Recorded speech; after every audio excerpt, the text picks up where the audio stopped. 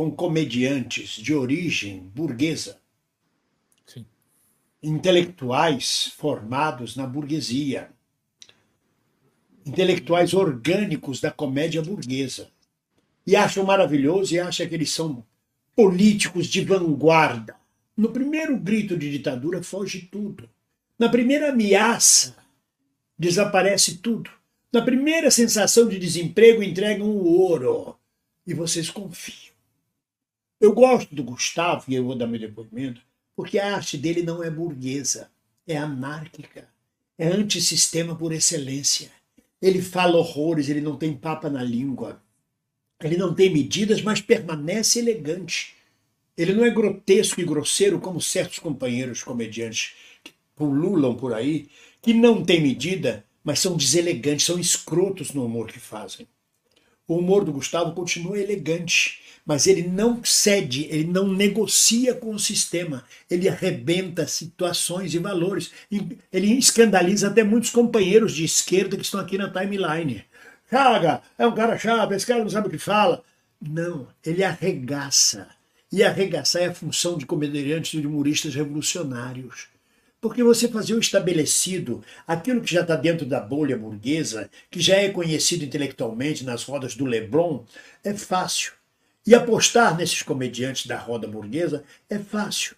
Agora, compreender o humor do intelectual orgânico que vem fora da burguesia, que vem ou às vezes da classe trabalhadora, como muitos comediantes nós temos, entre eles eu posso citar alguns, é que eu não quero. A minha situação agora é com Gustavo Mendes.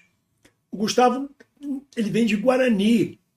Ele não vem exatamente da classe trabalhadora, do chão de fábrica, do operário, do trabalhador, mas ele não vem da burguesia. Não vem sequer da pequena burguesia. Ele vem da baixa classe média, muito mais próximo da classe trabalhadora e antiburguesa por excelência. E aí ele herda esse anarquismo. Esse anarquismo é muito importante, é uma metralhadora giratória, não escapa ninguém.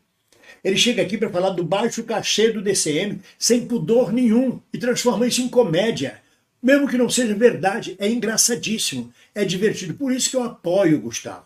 Nos meus quase 80 anos de vida, 60 anos de comédia, eu apoio o Gustavo Mendes porque ele é um dos poucos que rompe a barreira do sistema.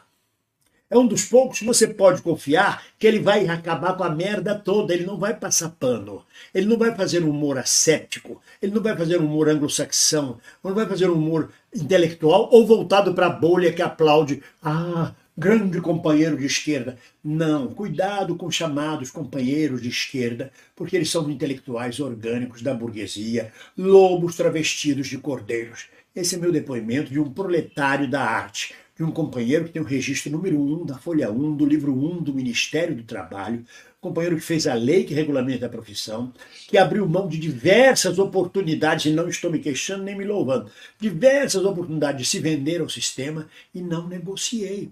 E tenho orgulho disso, e tenho orgulho quando vejo alguém negociando até com o sistema, mas sem abrir mão dos seus princípios anárquicos do humor, que esta é a função do humor. O rei está nu. É isso.